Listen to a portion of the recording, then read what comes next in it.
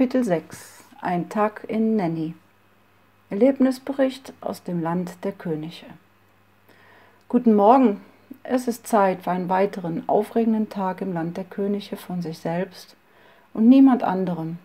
Willkommen in Nanny. Der Online-Surfer sitzt vor seinem Spiegel. Was darf's heute sein? Was wollen wir erleben? In der Spieleliste klicke ich Erde an, Abenteuer miteinander und trifft die tollen Leute. Drei Spiele gleichzeitig. Das hat die Kopfkonsole jeder Xbox voraus, wie so einiges anderes. Ich wähle einen Avatar und schon geht die Reise los. Sämtliche Sinne schießen sich auf die neue Situation ein und lassen mich, unendliches Bewusstsein, zu einem jemand werden, den wir schon aus dem Buch 2020 Die neue Erde kennen. Ich lasse mich fallen und umgebe mich mit ihrer Wahrnehmung. Langsam komme ich zu mir. Ich versuche noch meinen letzten Traum festzuhalten. Irgendwo war ich gerade, kam mir fast vor wie auf einem Raumschiff. Ich saß in einem Sessel vor einer Konsole oder sowas. Genauer erklären kann ich es nicht und dann ist es ganz weg. Noch bevor ich die Augen öffne, wird mir gewahr, wo ich jetzt bin. Zu Hause, in meinem Bett. Gut geruht würde ich sagen, ich fühle mich entspannt und ausgeschlafen und der Duft von Frühstück drängt sich erfolgreich in meine Nase. Ich höre ein Rasseln aus der Küche, ein beruhigendes Geräusch. Obwohl ein gespanntes Gefühl mich aus dem Bett treibt, bleibe ich noch ein paar Atemzüge mit geschlossenen Augen liegen. Ich möchte den Tag ruhig beginnen. Das trainiere ich seit geraumer Zeit und es funktioniert immer besser. Als das treibende Gefühl verschwindet, öffne ich meine Augen und schaue mich um. Dann gähne ich von Herzen und strecke mich erstmal. Oh, die Katze liegt neben mir, bekommt es mit, findet es ganz toll und begrüßt mich freudig. Ich genieße ihr Schnurren und ihr weiches Fell und wie sie ihr Köpfchen an mich drückt. Dankbarkeit durchflutet mich, so wie das Licht der Sonne, das durch das Fenster scheint. Miau, sagt sie. Mir auch, erwidere ich und küsse sie sanft auf die Stirn. Ich strecke mich noch einmal und setze mich auf. Das Buch, in dem ich vor dem Schlafen noch gelesen habe, fällt vom Bett auf den Boden. Ich hebe es auf und schaue es an. König steht drauf. Ich lächle und streichle es. Ich liebe es, immer wieder mal in ihm zu lesen. Es hilft mir immer dabei, mich gut zu fühlen und meinen eigenen Weg zu gehen. Ich lege es beiseite und stehe auf. Jetzt zieht es mich doch in die Küche. Mein Herz klopft Sturm. Auf dem Weg dahin mache ich einen Abstecher ins Bad.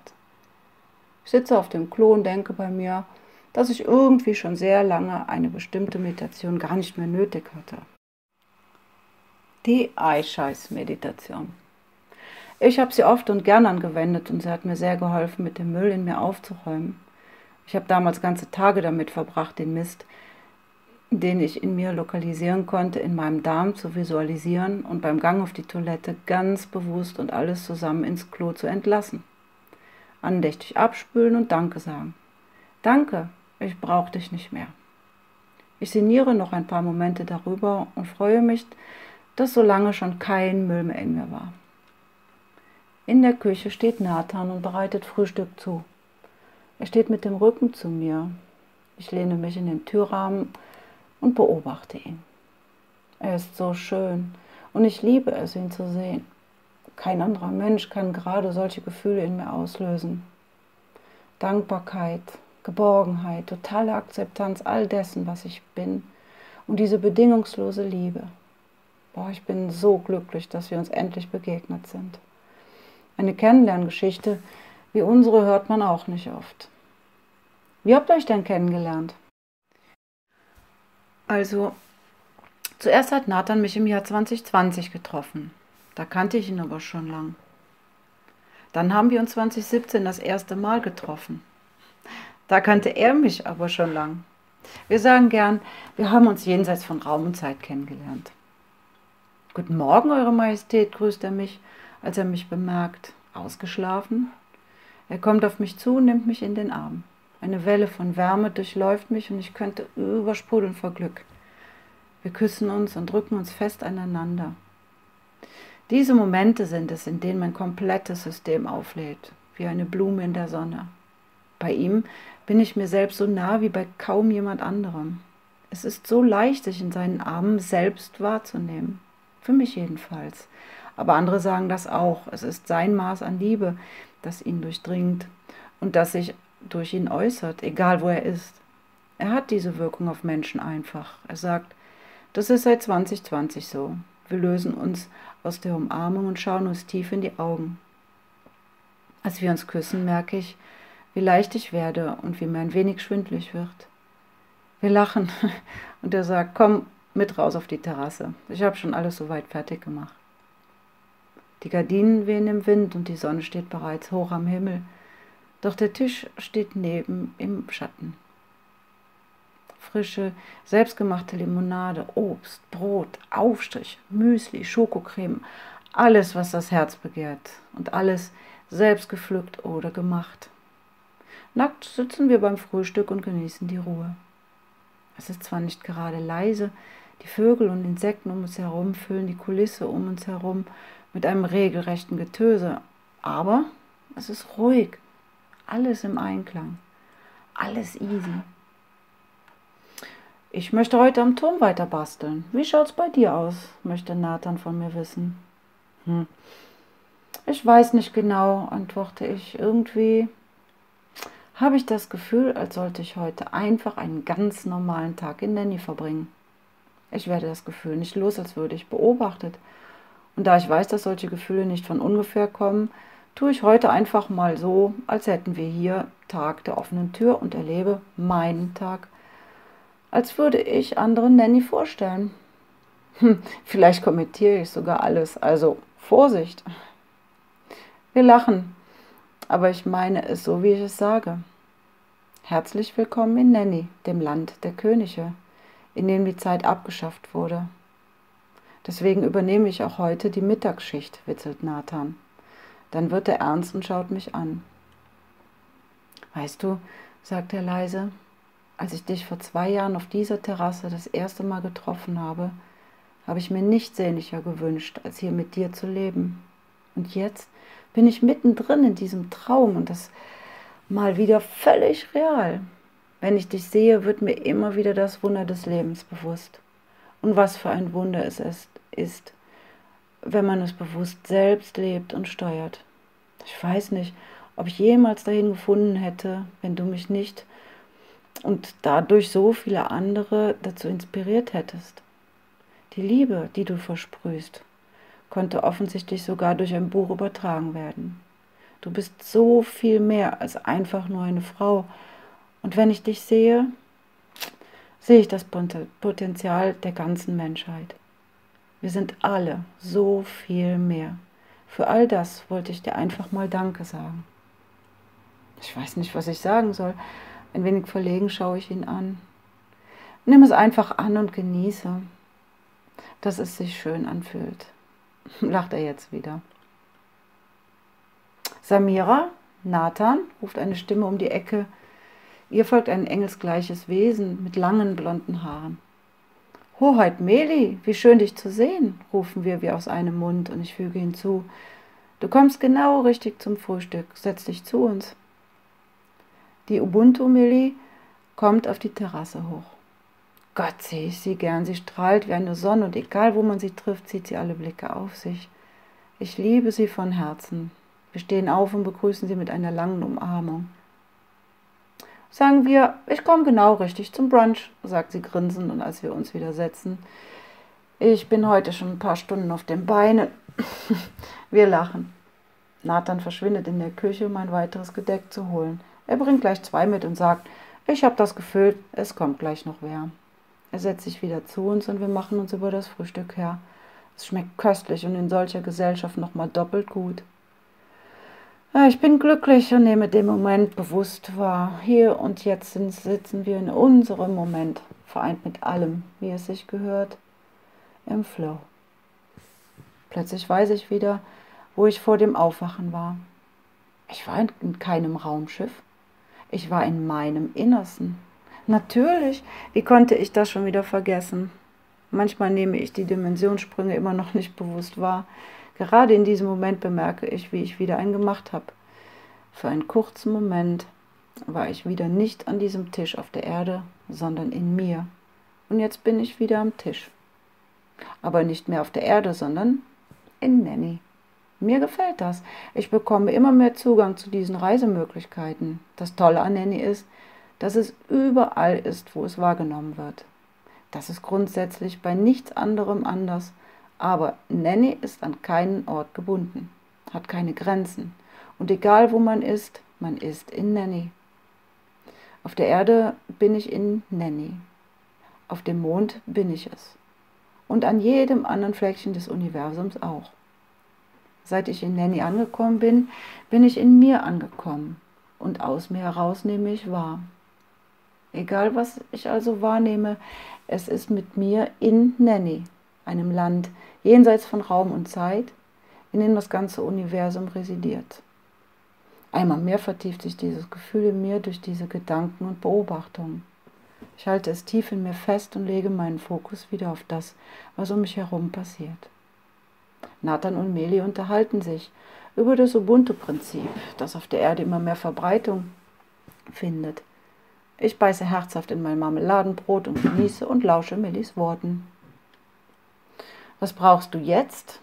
Jetzt im Moment? Jetzt im Augenblick? Du hast alles, was du genau jetzt brauchst, richtig? In erster Linie ist Ubuntu eine Weltvorstellung, wo es um Wertschätzung, Akzeptanz und Dankbarkeit geht. Stellen wir uns mal vor, wie es wäre, wenn wir gar kein Geld mehr benutzen würden. Ich meine, alle Menschen, nicht nur wir Ubuntis, die eh schon so leben. Überleg doch mal, wie oft denken die Menschen täglich über Geld nach? Und welche schönen Momente können sie stattdessen erleben? Geld ist weder gut noch schlecht, es ist ein Mittel zum Zweck, ein Zwischenmittel zu den Dingen und Momenten, die wir kaufen und erleben und spüren wollen. Wenn ich 90 Euro für einen Fallschirmsprung hergebe, dann geht es mir nicht um das Geld, das ich ausgebe, sondern um den Sprung, den ich mit meinen Sinnen fühlen darf. Wertschätzung der Dinge und Momente. Darum geht es bei Ubuntu, nicht um Profit und Anerkennung oder Konkurrenz. Das sind Gefühle, die oft durch Geld erschaffen werden. Je mehr Geld, desto mehr Anerkennung. Ja, manche Menschen sind arm, sie haben nichts außer Geld. Sie vergessen ihre Lebensmomente wertzuschätzen, genauso wie ihre Mitmenschen. Sie vergessen jede Situation und jeden Menschen zu akzeptieren, wie er ist. Jeder Mensch handelt immer in seiner besten Option mit bestem Wissen und Gewissen.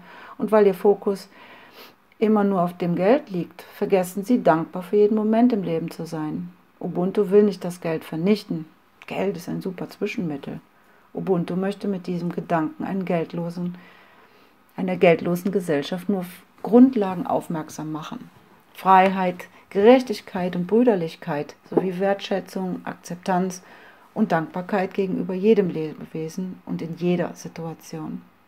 Das wirklich Tolle an der Sache ist, dass sie da, wo sie praktiziert wird, auch sehr einfach funktioniert. Du hast Tellinger nicht nur gelesen, habe ich recht? fragt Nathan. Natürlich nicht.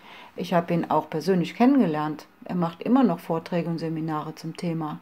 Sein Buch, das Ubuntu-Prinzip, ist eine ausführliche Erklärung, aber in den Seminaren und Workshops sitzen inzwischen immer mehr Leute, die praktische Erfahrung haben, die wir untereinander austauschen und die auch Michael Tellinger immer wieder bereichern, wie er sagt.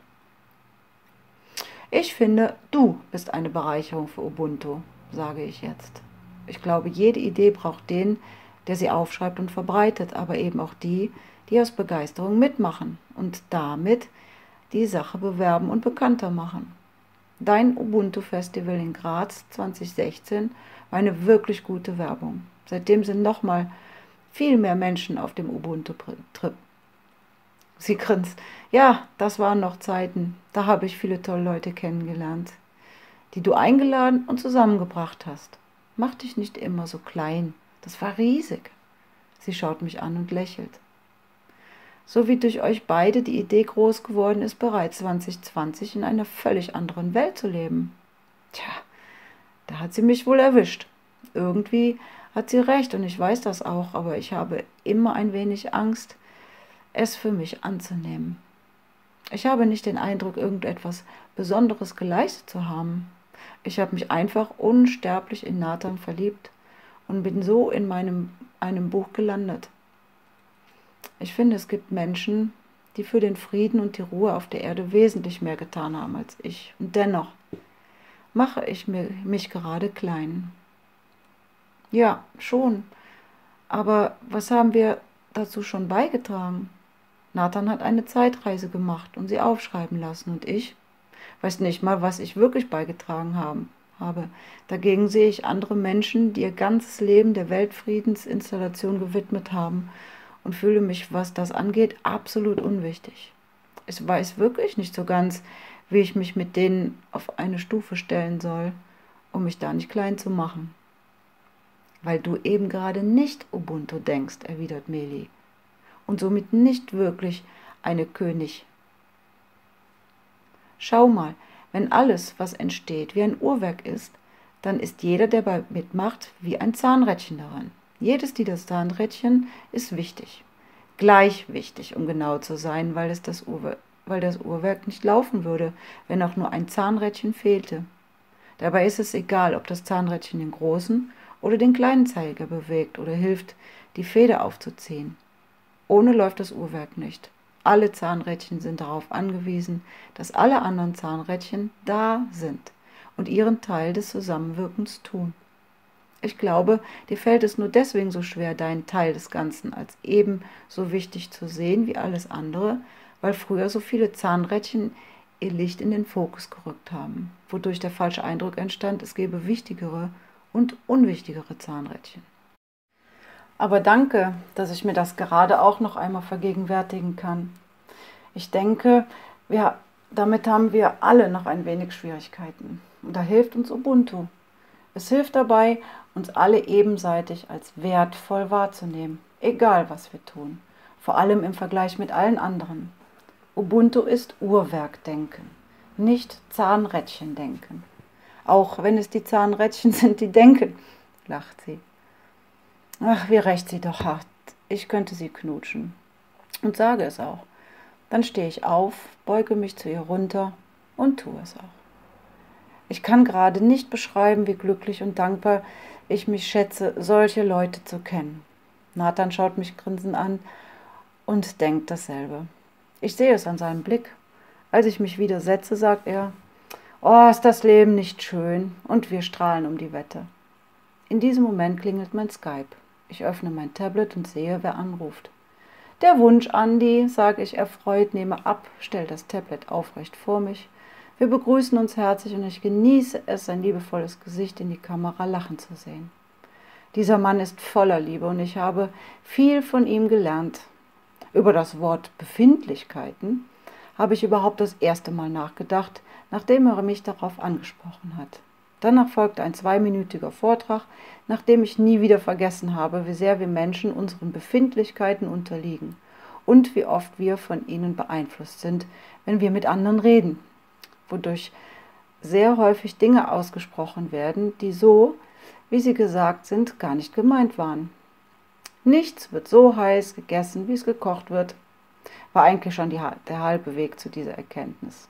Aber nach Andys Erkenntnis um die Befindlichkeiten gab es keine einzige Situation mehr, in der ich irgendwelche Angriffe noch als ernst genug hätte nehmen können, um den Angreifer böse zu sein. Jedes Mal, wenn mir jemand frustriert etwas an den Kopf geworfen hat, wusste ich in dem Moment, dass ich es nicht persönlich nehmen brauchte. In solchen Situationen hilft es übrigens sehr, einfach Ventil zu spielen, habe ich herausgefunden. Einfach für den Dasein, ihm die Möglichkeit geben, sich zu spiegeln und auf und wieder abzuregen. Ich war eh schon nie wirklich nachtragend, aber so gab es noch nicht mal mehr einen Grund, überhaupt etwas nachzutragen. Seitdem erlebe ich solche Situationen völlig anders. Sehr viel stressfreier vor allem. Und als König ist es unter meiner Würde, mich noch auf Streit oder Gegeneinander einzulassen. Als König kann ich innerlich ein wenig zur Seite und somit aus der Schusslinie gehen und selbst entscheiden, wie ich reagiere. Und ich ziehe es vor, jedem die Schwester zu sein, die ich selbst in allen anderen sehe. Ich wollte nur Bescheid geben. Es gibt ein neues Projekt auf der www.12x12.info, sagt er jetzt. Und das mit der Ihr-Karte läuft auch bestens. Ich wollte fragen, ob wir das mit der Wir-Karte verlinken können. Oh, da musst du Gunnar fragen, schaltet sich jetzt Nathan ein, der darüber Bescheid weiß. Gunnar Gast, der Infofrieder, die Love Police Köln. Du kannst ihn googeln oder gleich bei Facebook anschreiben. Er macht die Wir-Karte und er hat bestimmt nichts dagegen, nichts gegen eine Fusion. Bestell ihm einfach einen Gruß von Bauchi, die beiden kennen sich und das geht bestimmt klar. Aber Wunsch Andi, i hoppa noch an Wunsch Andi. beide lachen. Ich weiß, dass sie gerade beide an Joe Kreisel denken, den Freeman Austria. Dem war irgendwann aufgefallen, dass der Wunsch Andi nicht von ungefähr so hieß, sondern weil er immer einen Wunsch an uns repräsentiert, einen Wunsch an dich. Wie eine Elfe, nur eher wie ein Teddybär, dafür mit unbegrenzten Wünschen. Und man kann mir das jetzt glauben oder nicht, aber wenn der Wunsch Andi in der Nähe ist, dann gehen Wünsche in Erfüllung. Ich würde so wahnsinnig gern mal wieder mit dir am Lagerfeuer sitzen, äußert Nathan nun seinen Wunsch. Meinst du, da ist was machbar, Bruder? Naja, lass uns das nochmal on-mind machen, wie er das immer sagt. Was haltet ihr davon? Heute Abend macht ihr ein Lagerfeuer und stellt euch alle vor, dass ich gleich neben euch sitze. Und ich setze mich hier bei mir ans Feuer und stelle es mir auch vor. Lass uns schauen, was passiert. Der Andi, so ist er. Einfach aus allem das Beste machen. Selbst aus großen Entfernungen. Aber vor allem machen. Ich habe noch nie erlebt, dass er keine Idee gehabt hätte. Einmal bis hin zum Herzinfarkt. Meli gibt sogleich bekannt, dass sie heute Abend dann auch wiederkommt und sehr gern dabei ist. Und Nathan und ich müssen lachen, weil so typisch ist, was als nächstes von ihr kommt. Wir können ja noch ein paar mehr Leute einladen. Eine Königsparty in Nanny, in allen Dimensionen. Ubuntu-Style. Die Idee gefällt uns und wir sagen schon mal zu. Na, euch scheint es ja gut zu gehen, sagt eine mir wohlbekannte Stimme hinter mir. Meine Schwester Tamara kommt die Stufen zur Terrasse hoch. Wir haben sie gar nicht kommen hören. Natürlich, sage ich erfreut. Was anderes ist doch keine Option mehr. Ich stehe auf und drücke sie herzlich an mich. Ah, schön, dass du da bist, flüstere ich ihr ins Ohr und beiße ihr sanft ins Ohrläppchen. Sie zieht mich fest an sich und es fühlt sich einfach schön an. Wir hatten nicht immer ein solches Verhältnis zueinander, aber seit sie mir vor zwei Jahren ein Buch in die Hand drückte, und mir weinend sagte, wie lieb sie mich hat, sind wir nicht nur beste Schwestern, sondern auch beste Freundinnen. Sie ist so wunderschön, das fand ich immer schon, aber früher konnte ich sie nicht genießen. Zu heftig waren unsere Meinungsverschiedenheiten und unser Umgang miteinander. Heute kann ich es nicht nur genießen, sondern es ihr auch noch sagen. Gut schaust du aus, wie wunderschön du bist. Kennst du Meli schon? Meli steht auf und knickst grinsend. Hallo Tamara, hab schon viel von dir gelesen. Freut mich sehr, dich endlich mal zu treffen. Hallo Meli, lass dich drücken. Währenddessen steht Nathan auf und als Meli und Tamara sich aus ihrer Umarmung lösen, wendet sich Tamara ihm zu. Na, du Zeitreisender, was hast du mit meiner kleinen Schwester gemacht? Die strahlt ja wie ein Atomkraftwerk.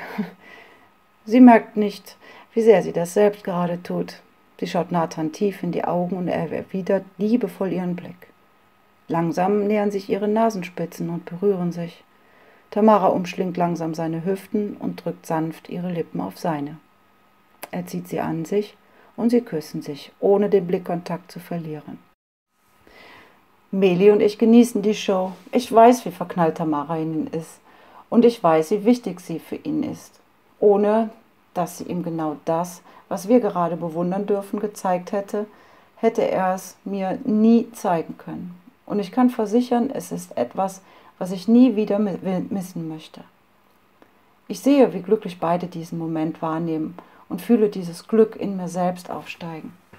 Wie schön zu sehen, dass die beiden Menschen, die mir auf der Welt am meisten bedeuten, sich lieben.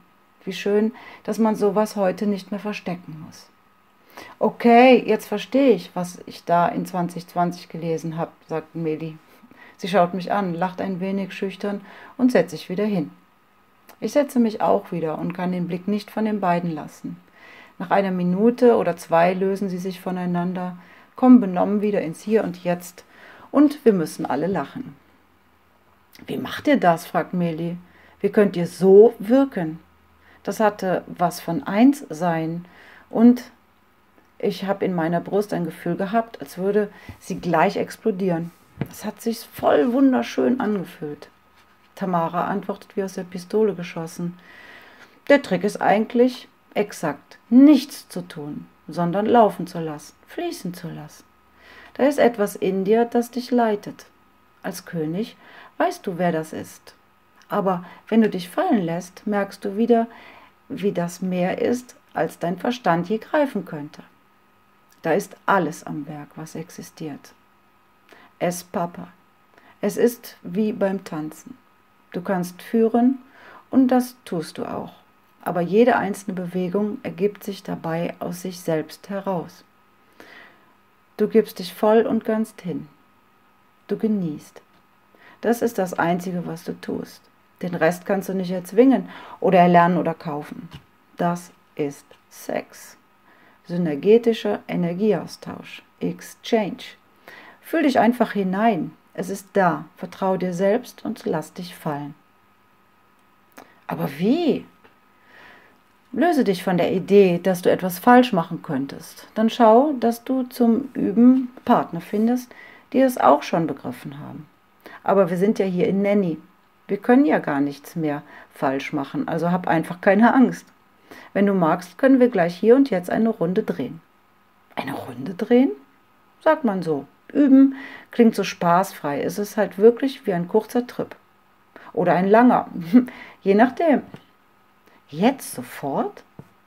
Klar, es sei denn, du hast was vor, was mehr Spaß macht. Tamara zwinkert Meli zu, steht auf, nimmt ihre Hand und sagt, Komm mit. Wir gehen mal ein paar Minuten ins Haus. Da sind wir ungestört. Dann fällt es dir auf jeden Fall leichter. Meli folgt ihr zögert, zögernd, schaut mir noch mal hinterher und sieht mein lachendes Gesicht. Viel Spaß, Ubuntu Meli. Gute Reise. Nathan und ich schauen uns an, verliebt und glücklich. Er nimmt meine Hand und küsst sie.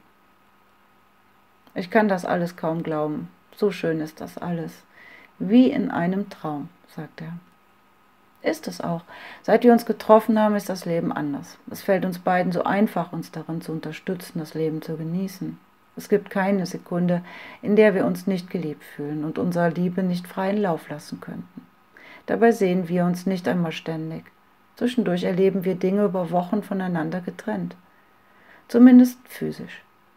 Doch eben gemeinsam, weil wir alles miteinander teilen. Wir haben keinerlei Geheimnisse voreinander und freuen uns, wenn der andere von seinen Abenteuern in der Nähe erzählt. Vom ersten Tag an waren wir im Drift, synchronisiert, konnten uns anders wahrnehmen, als wir es früher von anderen kannten. Es gibt keine Trennung zwischen uns, einfach weil wir keine fühlen. Ein Gefühl von absoluter Sicherheit, von tiefstem Vertrauen, dass nichts Schlimmes passieren kann. Stattdessen können wir unsere Gedanken lesen, kennen den anderen wie unser Lieblingsbuch. Anfangs war es regelrecht gruselig, aber wir haben uns sehr schnell daran gewöhnt und es wertzuschätzen gelernt. Wie in kaum jemand anderem sehen wir uns selbst im anderen, spiegeln uns auf eine Weise, die uns früher noch große Probleme bereitet hätte. Aber seit wir gemeinsam das Buch König gelesen haben und uns seither auch gemeinsam so wahrnehmen, wissen wir es besser. Unsere Befindlichkeiten stehen uns nicht mehr im Weg. Ist der eine mal energetisch etwas down, wird er vom anderen aufgefangen. Einer von uns beiden hat immer einen Draht zu dem Humor, den der andere vielleicht gerade aus den Augen verloren hat. Egal welches Problem uns im letzten Jahr über den Weg gelaufen ist. Gemeinsam haben wir jede Hürde gemeistert und in Rekordschnelle eine passende, umsetzbare Lösung gefunden. Wir sehen haufenweise Dinge anders, aber haben nie gestritten. Wir freuen uns über diese verschiedenen Sichtweisen, denn sie bereichern uns regelmäßig. Oft denkt einer das, was der andere noch gar nicht in Betracht gezogen hat. Und das ohne dass irgendwer sich dabei angegriffen fühlen würde. Es dauert nicht lange, da kommen Meli und Tamara wieder auf die Terrasse zurück. Meli mit hochrotem Kopf und Tamara mit einem breiten Grinsen. Ich fasse es nicht. Ich glaube, ich hatte einen Orgasmus und Tamara hat mich nicht einmal angelangt, platzt es aus Millie heraus. Wie kann das sein, dass die Menschen das nicht kennen oder kannten oder erst lernen müssen?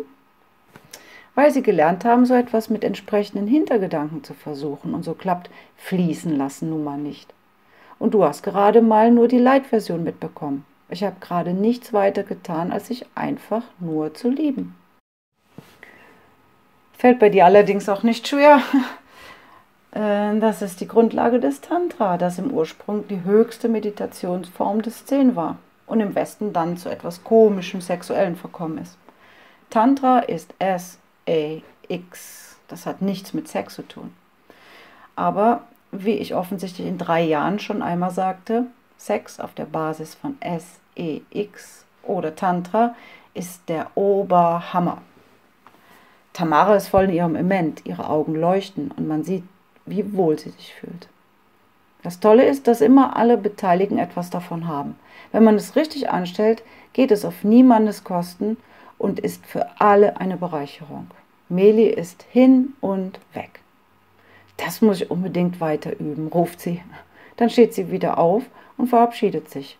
Wir sehen uns heute Abend am Feuer. Ich habe noch eine Verabredung mit Corinne.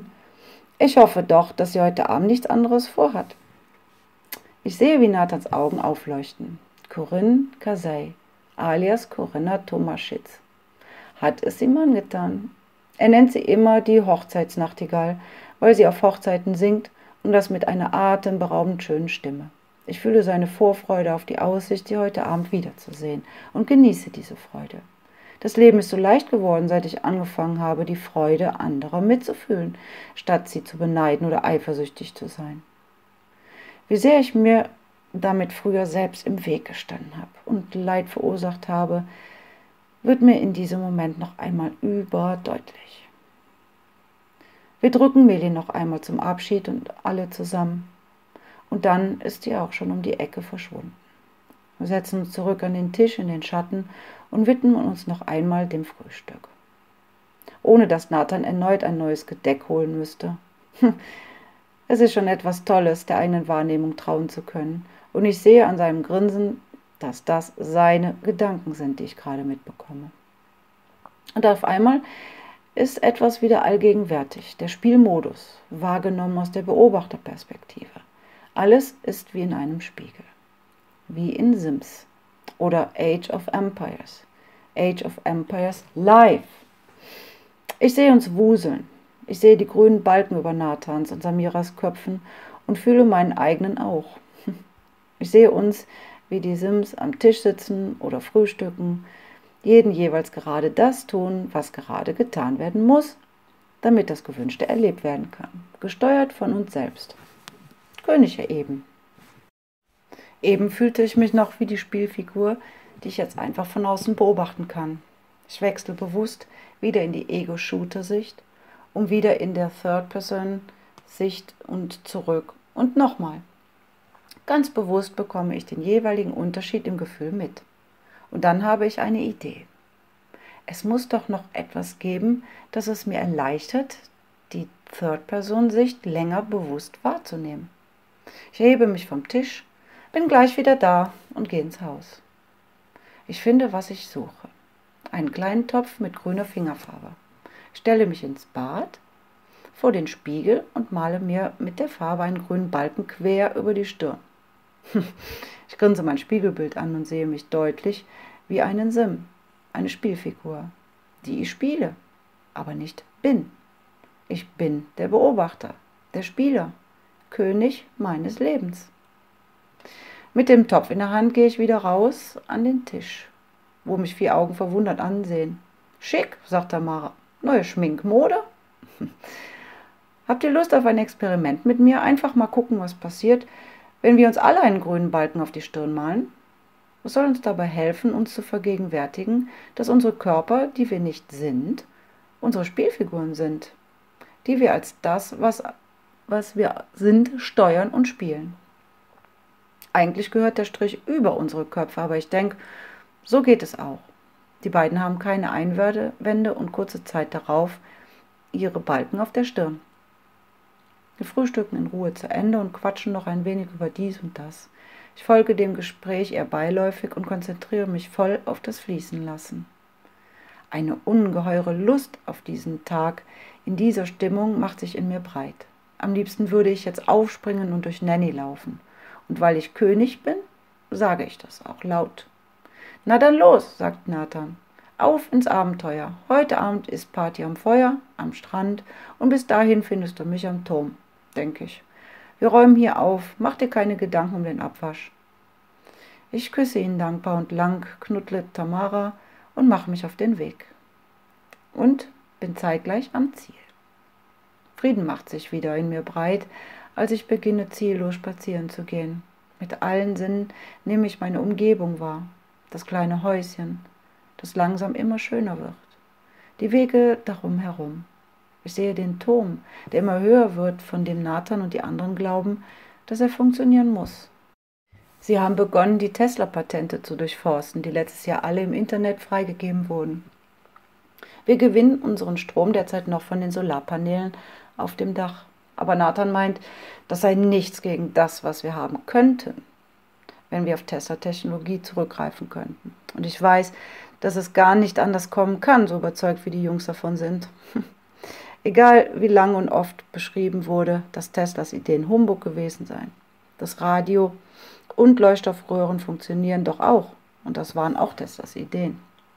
Schwupps, schon wieder abgedriftet. Diesmal bekomme ich es mit, bevor ich mich noch weiter in diesen Gedanken hingebe, die mich gerade von dem ablenken, was um mich herum passiert. Und von einem Moment auf den nächsten durchfährt mich eine Welle von Wohlsein. Ich atme mit allen Sinnen die Umgebung ein, den Geruch der Blüten und Pflanzen um mich herum, den Singsang der Vögel und Insekten, den Geschmack auf meiner Zunge, die tolle Aussicht, die die Insel um diese Jahreszeit bietet, den Boden unter meinen Füßen, den seichten Windhauch und wie er unter meine Bluse kriecht und mich streichelt. Die Gänsehaut, die das Ganze in mir auslöst und mein Grinsen im Gesicht. Schlage den Weg zum Strand ein, keine Ahnung warum, mein Gefühl sagt das einfach. Da geht's lang. Ich denke an den Balken auf meiner Stirn und sehe, wie etwas in mir führt, und etwas anderes in mir folgt. Ich fühle die Trinität, mein Ego, Spielfigur, meinen Geist und es, Papa. Und wie sie in diesem Moment absolut problemlos zusammenarbeiten, weil nichts davon irgendwas in Frage stellt, sondern alles, alles akzeptiert und fließen lässt. Ich fühle kein Verlangen nach irgendetwas und so ist der Raum zum Genießen da. Ich bemerke den Frieden in mir, den ich früher nicht hatte, und auf einmal wird mir der Unterschied bewusst. Früher war kein Frieden in mir, dafür aber etwas anderes, das in diesem Moment fehlt. Das Laufen. Früher bin ich immer gelaufen, entweder etwas hinterher oder vor etwas weg. Krass. Das habe ich nie so gesehen. Aber seitdem ich aufgehört habe, vor Dingen weg oder anderen hinterher zu laufen, ist das Leben der reinste Spaziergang geworden. Deswegen ist mein Leben heute so stressfrei. Das ist der Unterschied, der mein Leben heute so extrem anders macht als früher. Echt? Das ist alles? Einfach das Verlangen abschalten und der Frieden ist da? Mir fällt auf, dass er immer automatisch da war, wenn ich gerade kein Verlangen nach irgendetwas hatte. Kann es sein, dass der Frieden, die Ruhe in uns der Normzustand sind? Das würde bedeuten, dass wir das immer fühlen könnten, wenn wir es nicht ständig durch ein Verlangen nach irgendetwas deaktivieren. Ich scanne meine Erlebnisse und kann auf keine einzige Erinnerung zurückgreifen, die dem, was ich gerade gedacht habe, widersprechen würde. Boah, das haut mich um. Okay, wie schaltet man dann das Verlangen ab, wenn es da ist? Hm. Indem man sich auf etwas konzentriert, das gerade verfügbar und genießbar ist, sagt eine Stimme in meinem Kopf. Verwundert bleibe ich stehen. Es ist nichts unnatürlich, solche Stimmen zu hören. Irgendetwas redet ja immer in unseren Köpfen. Aber das hier gerade ist anders. Ich höre die Stimme deutlich. Hallo, ist da wer? frage ich. Natürlich. Da ist immer wer, antwortet die Stimme mit einem Lachen. Mach mal deine Augen zu und konzentriere dich, dann kannst du mich nicht nur hören, sondern auch sehen.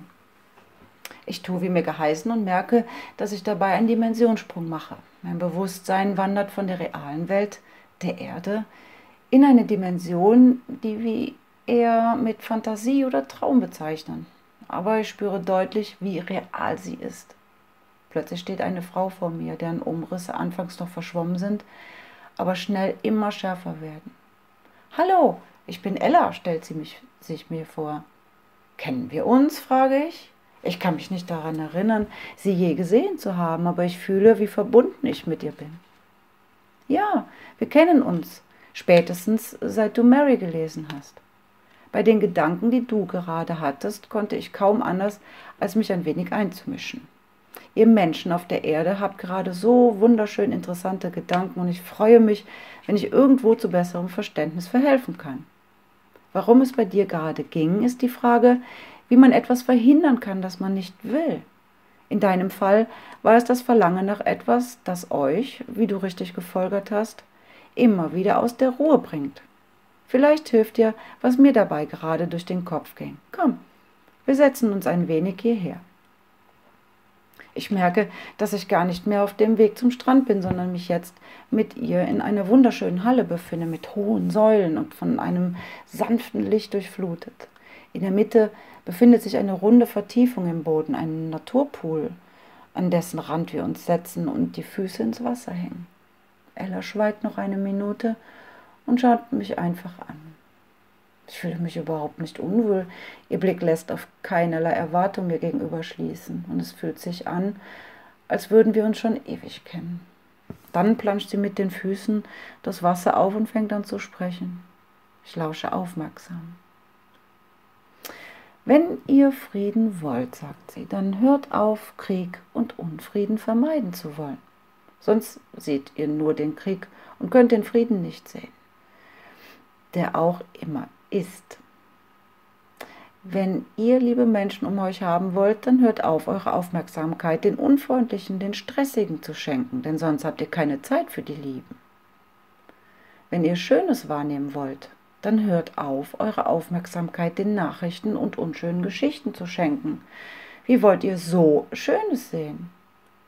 Wenn ihr euch finden wollt, dann hört auf, eure Aufmerksamkeit ständig anderen zu schenken. Das bedeutet nicht, dass ihr alle anderen ignorieren sollt. Ich finde mich in euch gerade selbst, weil ich den Impuls habe, euch das hier zu sagen. Diese Worte sagen mehr über mich als irgendjemand anderen aus. Und ich weiß das und finde mich darin. Wenn ihr denkt, ihr seid Opfer irgendwelcher äußeren Umstände, dann hört einfach auf, das zu denken weil es Blödsinn ist. Ihr seid Opfer eurer eigenen Denkweisen, sonst gar nichts. Und das ist gut, denn die könnt ihr nach Belieben ändern. Ihr tut es jeden Tag. Wenn ihr nicht versteht, was ich sage, dann schaut es euch einfach noch ein Weilchen an. Man hat euch sehr lange so viele, viele Dummheiten als Wahrheit verkauft und äh, dass es völlig normal ist, solcherlei Dinge nicht gleich zu verstehen, weil sie einfach sind und ihr gewohnt seid, kompliziert zu denken. Erstaunt schaue ich sie an und erkenne den Sinn ihrer Botschaft. Vor allem ihr letzter Satz halt in mir nach. Hm, ich verstehe, sage ich. Und das tue ich auch. Alles, was sie sagt, ergibt klaren Sinn für mich. Sie spricht von königlichem Verhalten. Genau, sagt sie, weil sie meine Gedanken lesen kann. Deswegen wusste ich, dass es Sinn ergibt, dir das gerade zu sagen. Ich wusste, du bist so weit, es zu verstehen. Der Balken auf deiner Stirn steht dir übrigens richtig gut. hey, träumst du? Die Stimme reißt mein Bewusstsein in die materielle Dimension Erde zurück. Vor mir steht Ronny Ludewig, den ich bisher nur aus dem Internet kannte. Er hat mit seinem Projekt Frieden rockt viele Menschen erreicht und zusammengetrommelt, die den Frieden deutlich erlebbarer machen auch ein Weltfriedensinstallateur, auch wenn er sich nie so genannt hat. Wie kann es sein, dass ausgerechnet er gerade vor mir steht? In Nanny ist alles möglich, weil nichts ist, wie es scheint, sagt Ella noch in meinem Kopf. Wenn du mich brauchst, denk einfach an mich, ich bin immer da. Etwas verdattert antwortete ich, nein, also schon, aber äh, es ist anders. Hallo Ronny, ich bin Samira. Schön, dich endlich mal persönlich zu treffen. Ich bin mir leider gerade nicht sicher, ob du wirklich vor mir stehst oder ob ich gerade wirklich in der materiellen Dimension bin oder träume. Ich merke nur, dass es völlig egal ist, weil es für mich nicht den geringsten Unterschied macht und ich dich völlig real wahrnehme. Das ist krass. Hast du sowas öfters? Um ehrlich zu sein, ja. Seitdem ich in Nanny lebe, nehmen diese Dinge zu. Ich kann mich nicht äh, mit immer mehr Menschen in unterschiedlichsten Dimensionen unterhalten und bin dabei, diese Dimensionen genauer kennenzulernen. Sie sind offensichtlich da. Und ich bin genauso offensichtlich schon immer durch alle hindurch geflossen. Anders kann ich es gerade nicht beschreiben. Äh, kommst du eigentlich gerade vom Strand oder bist du auf dem Weg dahin? Hm, ich komme gerade von da, doch wenn du hin möchtest, komme ich gern auch noch mal mit. Kommst du von hier? Ich merke, wie ich diese Frage nicht klar beantworten kann. Also, im Moment lebe ich hier, ja. Gemeinsam schlendern wir weiter in Richtung Strand zurück und ich erzähle ihm, was mir gerade passiert ist, von Ella und dem, was sie mir sagte und dem bewussten Dimensionswechseln. Und dann weiß ich, warum ich ausgerechnet ihn hier treffe. Ich fühle nach, um mich zu vergewissern. Das Gefühl bleibt. Er weiß nicht, wer ich bin, weil er 2020 nicht gelesen hat. Er hat keine Ahnung von Nathans Geschichte und ist somit einer von denen, die immens dabei geholfen haben, diese Vision umzusetzen, ohne sie zu kennen. Naja, das stimmt so auch nicht ganz. Irgendwie ist die Vision in 2020 schließlich keine, die Nathan allein gehabt hat. In diesem Moment wird mir klar, dass einfach sehr viele Menschen mit dem, was gerade und bis 2020 passiert, in Resonanz stehen. Und das hat nichts mit dem Buch zu tun, eher umgekehrt. Ich schaue ihn dankbar an und freue mich über diese Begegnung. Ich habe ihn immer schon bewundert für das, was er alles erreicht hat. All diese Menschen zusammenzuführen, ist eine Gabe. Und Ronny Ludewig hat sie nicht nur, sondern er hat sie auch genutzt weil er so fest an diese Idee einer friedlichen Welt glaubt wie wir und sich nicht hat beirren lassen. Liebe, Dankbarkeit und Wertschätzung machen sich in mir breit, mein Grinsen in meinem Gesicht. Ich drehe mich im Gehen zu ihm, stelle mich vor ihn und nehme ihn in den Arm.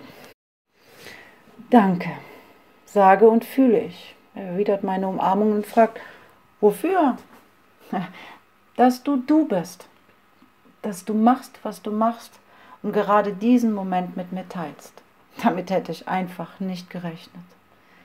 Wir lösen uns aus der Umarmung und er fragt nach dem Balken auf meiner Stirn. Ich erkläre es ihm und dann gehen wir den Weg weiter zum Strand, ohne ein weiteres Wort zu sagen.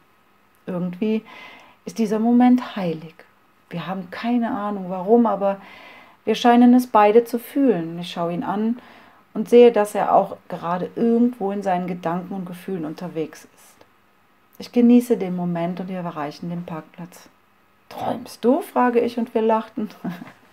Frieden rockt, sagt er. Ich weiß, antworte ich.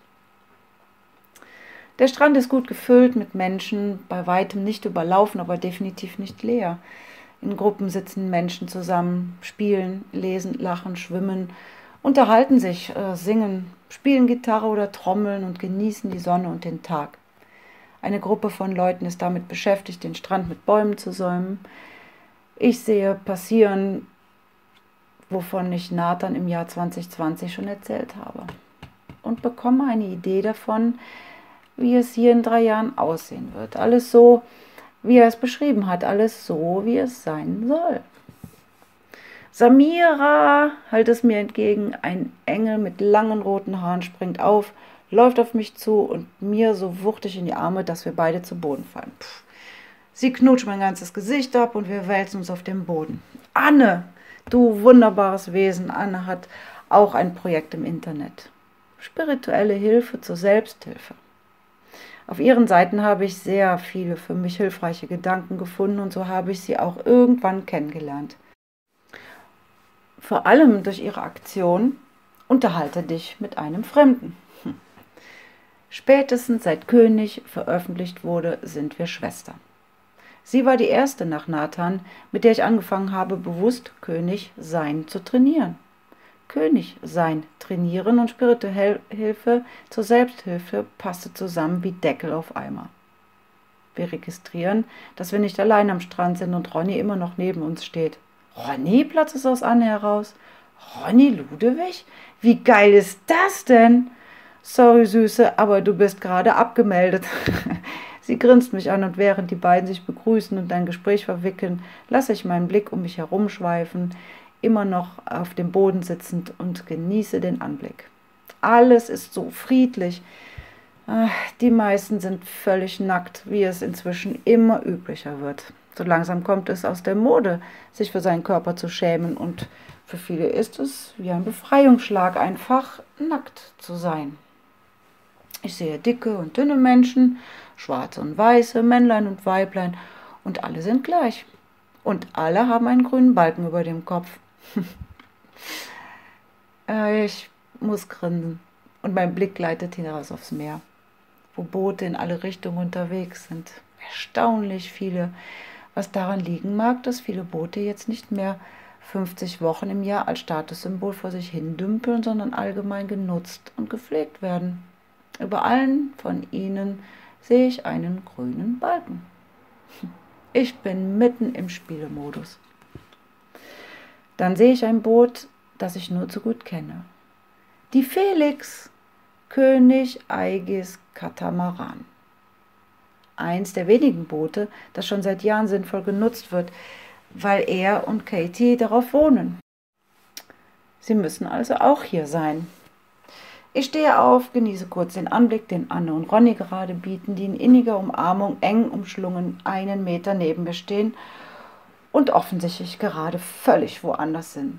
In ihrem hier und jetzt, in ihrem Moment, mittendrin in dem, was ihnen niemand nehmen kann.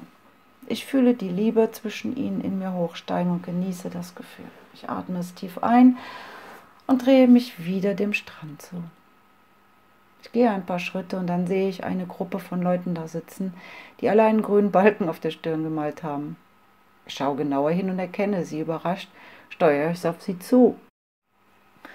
Da sitzen die Twin Boys. Nofritete König, alias Nancy Cassandra Pirkes, der Roban, Eugen von Flowfinder.de, der Drachenlord, der verdeckte Vermittler. Wie geil ist das denn? Gunnar Gast von der Via-Karte und Love Police Köln, Kevin Samuel, Norbert Brakenwagen von timetodo.ch, der Segelohren Bob, Sabine vom Engel Orakel, der Öff Öff von der Schenkerbewegung, mit dem zusammen Bauchi damals seinen Perso zerschnitten hat, Letty und Ronja von Seelenkram, Amok Alex und Frank Stoner, Klaus Glatzel von okitalk.com, Mariana Jermakova und noch etliche andere, die ich nicht kenne, die mir aber irgendwie bekannt vorkommen. Alle Aufgezählten haben jeweils eines gemeinsam. Sie sind allesamt YouTuber, deren Kanäle man sich definitiv mal ansehen sollte. Ich kenne sie nicht nur alle durch ihre Videos, sondern habe von allen von ihnen etwas gelernt, vor allem in Bezug auf Bewusstheit und Eigenständigkeit. Was für eine illustre Runde. Wieso sind die alle hier? Und wieso haben die grüne Balken auf der Stirn? Ich bin leicht irritiert, als Nancy mich als Erste erkennt, aufspringt, auf mich zufliegt. Ich meine das wörtlich. Sie fliegt auf mich zu, landet sanft vor mir und strahlt mich an. mein Gesicht muss zu komisch aussehen und sie prustet los. Was ist denn mit dir los, Schätzekind? Du siehst aus, als hättest du einen Geist gesehen, weil ich geflogen bin. Wunderst du dich? Ich habe doch immer gesagt, ich habe Flügel. Wollte mir halt keiner glauben, aber das ist ja nicht mein Problem. Sie strahlt mich an. Schön, dass du da bist. Wir haben schon auf dich gewartet, sagt sie und drückt mich fest. Ich bin mir gerade nicht ganz sicher, ob ich einen Dimensionssprung verpasst, also nicht bewusst mitbekommen habe. Die ist gerade vor meinen Augen geflogen. In welcher Realität bin ich gerade? Bin ich auf der Erde oder in Nanny? Unabhängig davon, dass die Erde auch in Nanny wahrgenommen werden kann, aber eben nicht umgekehrt, frage ich mich, ob die anderen um uns herum das auch gesehen haben. Meine Sinne schärfen sich, mein Fokus ist klar und konzentriert. Ich bin in Nanny. So viel steht fest. Zu viele Fragezeichen poppen auf meinem Bildschirm auf. Ich gebe mich bewusst nicht hin, wische sie zu einem zusammen, das ich an den Rand schiebe und weiß, was zu tun ist. Einfach den Film weitergucken. Beobachten, was passiert. Äh, ich grüße erstmal etwas verdattert in die Runde und werde mit einem großen Hallo empfangen. Anscheinend ist meine Ankunft niemanden entgangen und ich erblicke freudige Gesichter. Ich setze mich, blicke etwas verlegen in die Runde, deren Augen ausnahmslos auf mich gerichtet sind. Erwartungsvoll schauen sie mich an und ich weiß nicht, was ich tun soll. Äh, habe ich irgendwas verpasst? Ich habe nicht damit gerechnet, euch hier zu treffen, aber ihr scheint mich alle erwartet zu haben und Wieso habt ihr alle grüne Balken auf der Stirn? Äh, ich hatte die Idee erst vorhin beim Frühstück, um mir das Spielen leichter zu machen. Na, du hast uns eingeladen, aber das kannst du noch nicht wissen, weil du es äh, in dieser Szene erst tust. Nicht wirklich direkt, aber ausreichend bemerkenswert, dass es offensichtlich funktioniert hat, sagt die Frau, die neben mir sitzt. Ich habe sie nie gesehen, aber ich erkenne ihre Stimme. Oh mein Gott, du bist ja Sinner, platzt es aus mir heraus. Sie lächelt und sagt herzlich willkommen im Hier und Jetzt, in diesem Moment. Krass, wie krass. Was machen die alle hier und was meint Jasina damit? Ich hatte sie alle eingeladen und das erst jetzt, obwohl sie alle schon hier sitzen. Und da sitzt Jasina neben mir. Danke für deine Witz, sage ich. Die haben mir mitunter sehr geholfen. Jetzt meldet sich Roban. Schön, dass du da bist. Wir sind hier, weil wir König gelesen haben und darin diese Geschichte.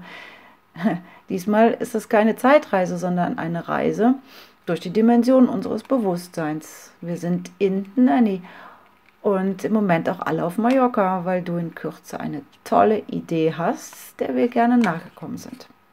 Die Balken auf der Stirn sind tatsächlich deine Idee gewesen und wir laufen aus genau dem Grund schon eine Weile damit herum.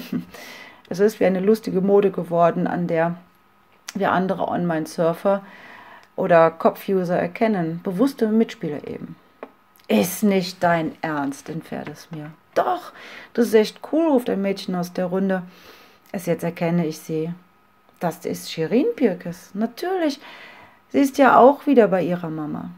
Ich freue mich so, sie zu sehen, dass ich fast anfange zu weinen. Wie oft habe ich letztes Jahr bei den entsprechenden Stellen mit angerufen, wie viele Mails oder Faxe geschickt mit so vielen anderen zusammen, bis irgendwann hieß, Shirin Pirkes ist wieder bei ihrer Mutter.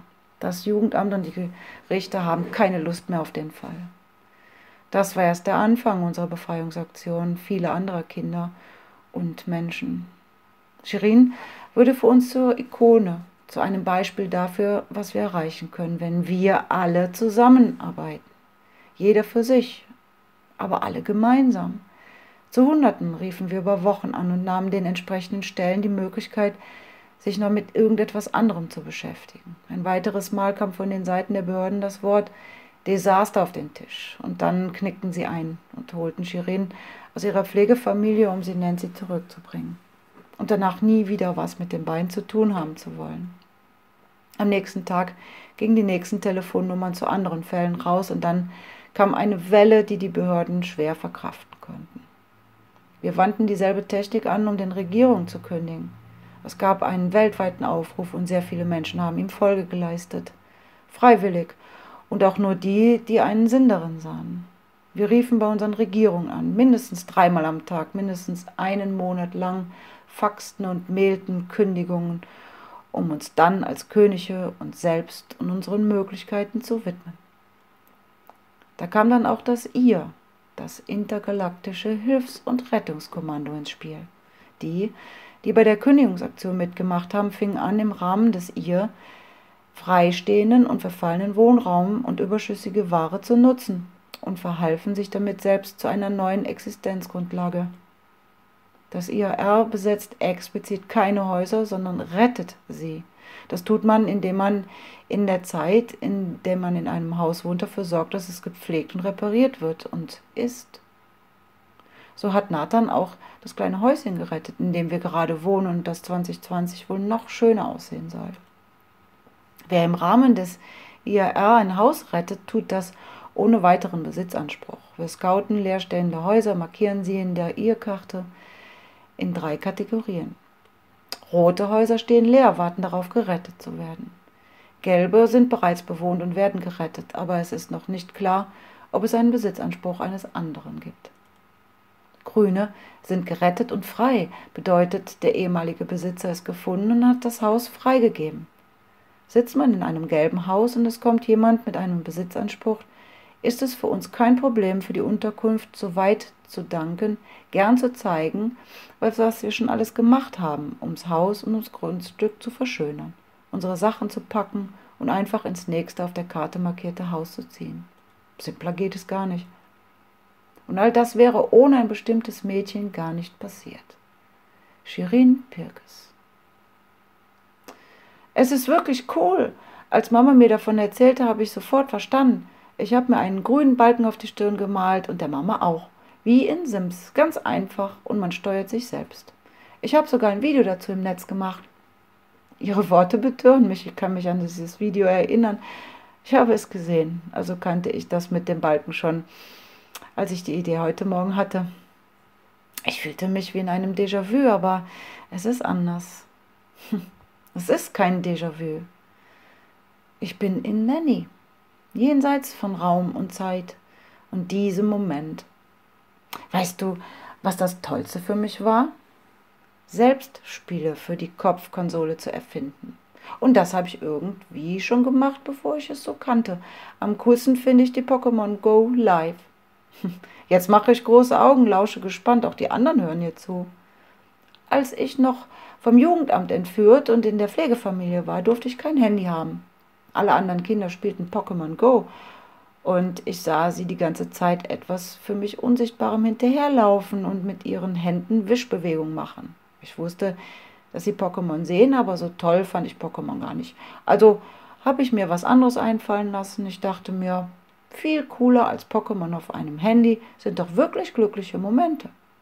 Also machte ich alles, was nach einem glücklichen Moment aussah, zu einem Pokémon ein Eis oder eine Umarmung oder irgendetwas anderes Tolles, das ich nur machen musste, um einen glücklichen Moment zu haben.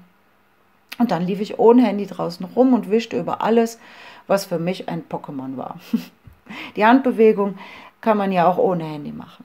Und bei allem, was ich gewischt habe, konnte ich das Pokémon dann auch einlösen und hatte wirklich was davon. Zum Beispiel eine Viertelstunde auf der Schaukel.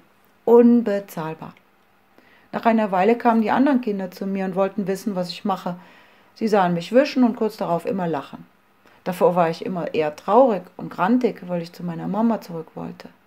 Ich erzählte es ihnen, auf einmal wollte keiner mehr Pokémon Go spielen. Alle spielten Pokémon Go live. Dann klingelte es irgendwann an der Tür und zwei Männer und zwei Polizisten standen davor. Die Männer sagten, sie haben einen Beschluss und ich soll meine Sachen packen, sie müssen mich mitnehmen und zu meiner Mama zurückbringen.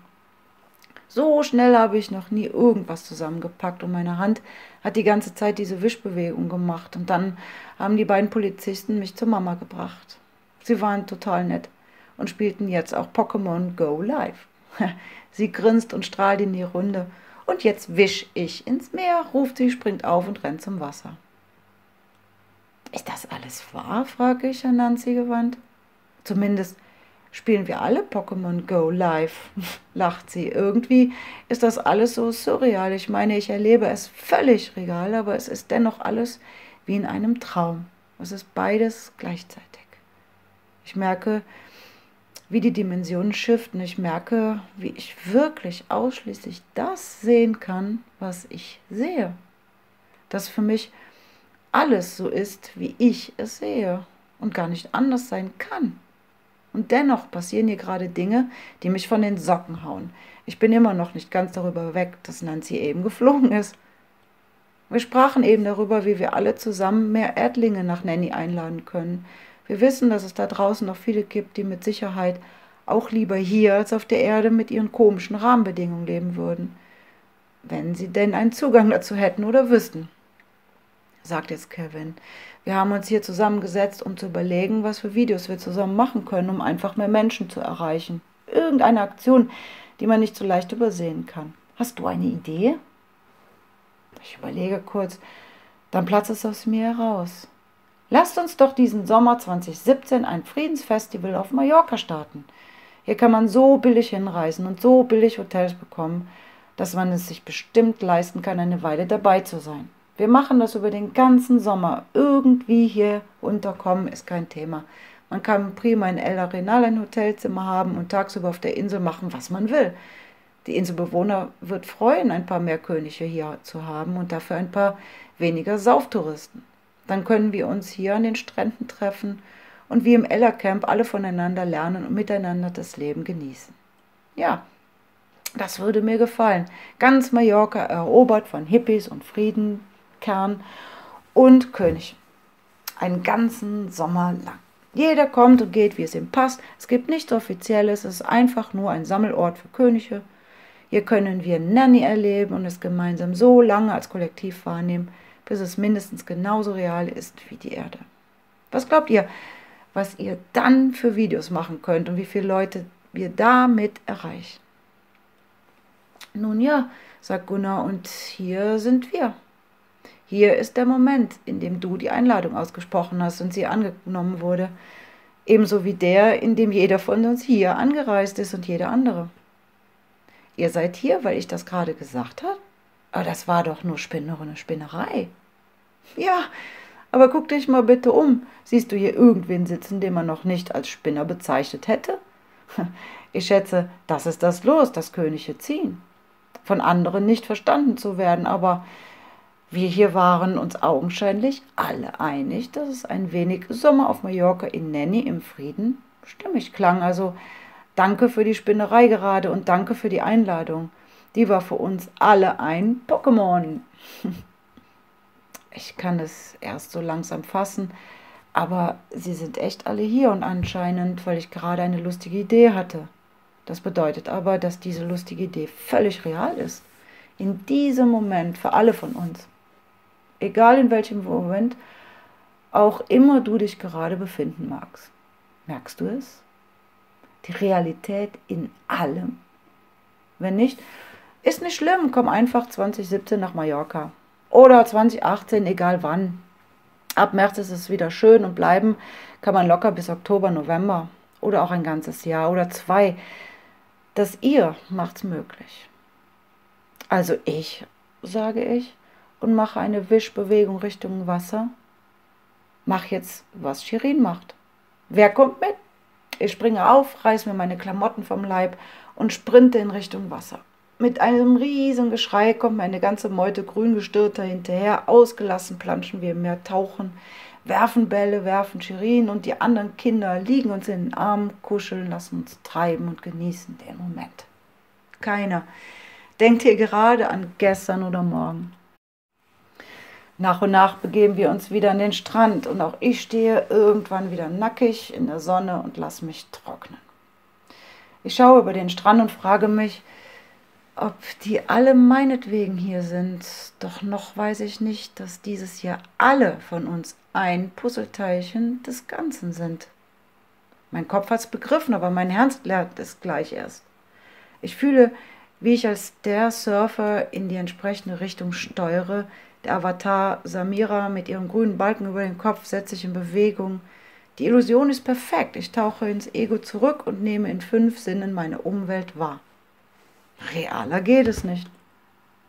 In einer Gruppe von Leuten, die mir auch alle bekannt vorkommen, sehe ich Seum, Patrick Kammerer, der so wundervolle Texte rappt und Seminare zu den Themen gibt, mit denen sich auch seine Songs beschäftigen. Keine Frage, dass ich mich zu ihnen geselle. Hey, Samira, setz dich zu uns, wo ist Nathan? grüßt mich Mario Walz. Als ich zu der Gruppe stoße, er steht auf, um mich mit einer Umarmung zu begrüßen. Wir kennen uns schon eine Weile, er ist ein sehr, sehr aktiv. Mit seiner Parallelgesellschaft hat er auch äh, viele Menschen zusammengesammelt, etliche Bücher geschrieben und hat ein gutes Gespür für Energien. Ich mag ihn sehr und genieße ihn im Arm zu halten. Er verbreitet Ruhe und ich tanke mich damit auf. Dankbar schauen wir uns in die Augen und nicken. Die anderen stehen auch auf und grüßen mich. Einige kenne ich, andere noch nicht. Aber da sind Bruno Württemberger, und ich freue mich sehr, sehr, ihn zu treffen. Gore Timothy Rassedin, der mir tief in die Augen schaut, seine Stirn an meine legt und fragt, du bist mitten im Hyperraum, richtig? Ja, sieht man mir das an? Weiß ich nicht, aber ich kann es gerade sehen. Dann steht auf einmal Rüdiger Dahlke vor mir, vor dem ich etliche Bücher gelesen habe, Veit Lindau, dem ich zu verdanken habe, dass ich mit mir selbst verheiratet bin und damit frei für alle anderen und vor allem für Nathan. Baha Hilmers, Bettina Halifax, Daniela Hutter, Ralf Giesen, Alexander Wagand, Robert Franz, Seom, Sarah Lesch, juhu, Selma Montana, Robert Stein von Steinzeit.tv, Joe Konrad und Dagmar Neubronner von Bewusst TV, die ich beide sehr herzlich begrüße. Alles Leute von gewissem Bekanntheitsgrad unter Königen. Was machen die alle hier? Wir setzen uns wieder und man widmet sich einem gemeinen Plausch. Meine Frage beantwortet Mario Walz. Also, eigentlich sind wir alle hier, weil uns irgendetwas hergezogen hat. Man sagt, unter Mallorca liege ein gigantisch großer Kristall, der eine ganz bestimmte Energie ausstrahlt. Keiner von uns hat ihn gesehen oder Nachweise dafür, aber wir fühlen alle diese Energie, die diese Insel so besonders macht. Hm, nicht umsonst sind äh, in diesem Sommer so viele von uns und laufen sich überrascht über den Weg. Hm. Es gibt die unterschiedlichsten Gründe, aus denen wir hergekommen sind. Die einen, weil sie einfach Urlaub machen wollten, andere wegen des Great Life Kongresses, der hier diesen Juli stattfindet. Wieder andere sind wegen des Ihr hier. Dann sind viele wegen Juliane Schiffner und dem Soul Holiday Mallorca hier. Und die IMA Mallorca haben auch viele Leute erreicht. Und viele von den Touristen hier sind die Einheimischen. Sie empfangen uns sehr herzlich und offen. Irgendwie ist hier dieses Jahr so etwas wie ein nicht abgesprochenes Gipfeltreffen souveräner freier Menschen, die sich über die Regeln und Denkweisen der Gesellschaft hinweg entwickelt haben und sich hier zusammenfinden, um von hier aus gemeinsam eine andere Richtung einzuschlagen. Hier herrscht ein großer Geist von Punkt ohne Wiederkehr. Wir entwickeln hier gemeinsam so schnell so viele Alternativen und es geht so spielerisch von der Hand. Alles ist hier auf einmal so einfach alle gehen so liebenswert und respektvoll miteinander um und so hat hier jeder das Gefühl, genau richtig zu sein. Viele sind ohne Rückflugtickets hier. Bei den Preisen ist das kein großes Risiko. Aber es gibt ein Gefühl von Freiheit und äh, selbstbestimmen zu können, wie lange man hier bleibt und was man macht. Jeder wuselt hier umeinander und du läufst ständig jemanden über den Weg, der ähnliche Interessen hat wie du. Trotzdem lässt sich jeder in Ruhe, niemand drängt sich dir auf, hier gibt es keine Gurus oder Helden mehr. Wir sind alle unsere eigenen Gurus und Helden und helfen uns dabei, das auch so zu sehen. Hier kann jeder von jedem lernen. Auf dieser kleinen Insel, die gerade mal 70 mal 100 Kilometer misst, existiert eine eigene kleine Welt, die wir alle kollektiv bilden und wahrnehmen. Der Schöpferprozess wird hier so überdeutlich, wir erleben, was wir wahrnehmen wie wir es wahrnehmen wollen. Und hier ist es so leicht, das auch wieder sehen zu können, weil man hier das Schöne in allem sehen darf. Das war halt früher recht schwer, als wir uns die ganze Zeit Bilder von scheußlichen Dingen unter die Nase hielten und es für wichtig hielten, das zu tun, obwohl kein Mensch wusste, was er dagegen machen sollte. Schön zu sehen, wie viele heuer hier sind und aufgehört haben, etwas gegen diese Missstände der alten Welt zu tun und stattdessen angefangen, eine neue Welt ohne solche Missstände aufzubauen. Und da ist es sehr dienlich, wenn man es für wichtig hält, Schönes zu sehen. Beantwortet das deine Frage ein wenig? Hm. Ja, ich denke schon. Das bedeutet, hier treffen gerade unterschiedliche kompatible Welten zusammen, um das zu tun, wovon wir alle die ganze Zeit geträumt und worauf wir gewartet haben. Genau. Eine davon bist du. Warum bist du denn eigentlich hier? Hm, ich lebe hier. Ja, seit ein paar Monaten schon klar, aber warum denn eigentlich? Na, weil ich Nathan getroffen habe und mit ihm hierher gekommen bin, um das Häuschen zu retten. Da hast du es schon. Es ist dein Grund, aber die Wirkung ist eine völlig andere und du siehst mit Sicherheit inzwischen auch andere Gründe für dein Hiersein, oder? Du meinst, dass ich die anderen hierher geholt habe? Keine Ahnung, wovon du sprichst, aber ich denke, du weißt es sehr genau. Siehst du, wie nichts, was wir tun, nur einen Grund hat? Eine Ursache vielleicht? Aber alles, was wir tun, ist Teil von etwas Ganzem. Und das führt uns hier dieses Jahr alle wie magisch zusammen. Auf diesen magischen, tollen Insel. Und hier zeigen wir uns, dass offensichtlich alles möglich ist. Ja, zum Beispiel Fliegen. Habt ihr das eben gesehen? Die Nancy ist geflogen vor meinen Augen. ja, ein paar von uns haben es auch gesehen, sagt jetzt Bruno Württemberger. Aber das gehört eben zu den Dingen, die hier gerade möglich sind. Gore erzählte eben von dem Hyperraum, den, ich, äh, den ihr Königin Nanny nennt.